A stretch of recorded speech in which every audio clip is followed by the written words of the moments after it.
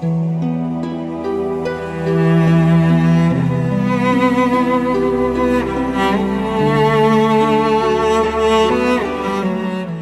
ما تو خونه خودمون بودیم بعد از اینکه تقریبا 6 ماهی به دنیا آمده بودم و اینا.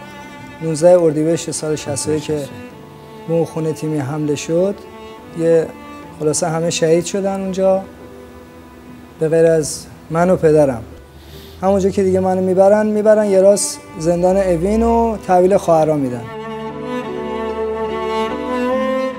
به خاطر همین کینه ای که نسبت به پدرم داشتن می‌خواستن گم و کنن. یعنی نه فقط من بقیه بچه‌ای هم که تو زندان بودن خلاصه رژیم همیشه می‌خواست به نوعی اینا دیگه دست خانواده‌شون نریسن لذا منو فرستاد پرورشگاه.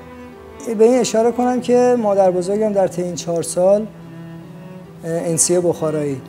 تقریبا تو این چهار سال همیشه پیگیر این قضیه بود. در تباتا همیشه دنبال ما بود.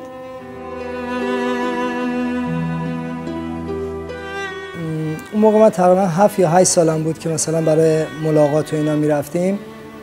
ولی همیشه سوالم بود مثلا چرا پشت شیشه اینا رو میای می‌بینیم ولی خب چون یه ذره سنم پایین بود متوجه نمی‌شدم که. فقط می‌دونستم که مثلا در هفته یا دو هفته ده روز یه بار می‌تونیم بریم اینا رو از پشت شیشه ببینیم. یه گردنبندی برام درست کرده بود که اسممو روی زده بود. که از در که اومدم بیرون ولی پاسار چیز کرد؟ دید. این نخش رو اینجام دید. نخش اینجام دید و خلاصه در آورد. منم خیلی گریان خیلی به هم ریخته اینا. اومدم بیرون بعد مادر بزرگم توی دست کندو گفت بیا بریم.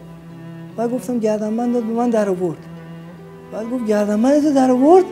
گفتم آره بعد گریه داشتم می‌کنم گفتم کمربندم هم در آورد. گفت کمربندت هم در آورد؟ دیگه نفهمیدم چی شدی مادر بزرگی چهار دور بس داری.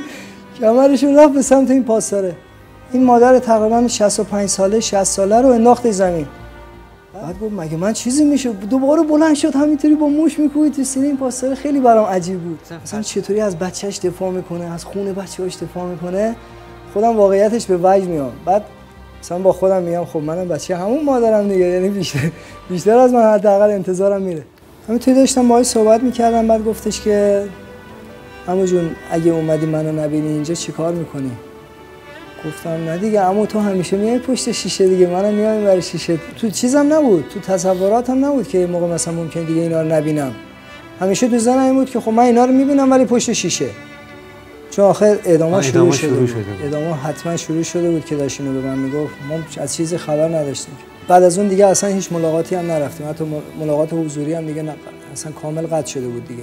تو این تراس هی اینطوری نگاه می‌کردم اینجا. یعنی این مادر بزرگ کی برمیگرده.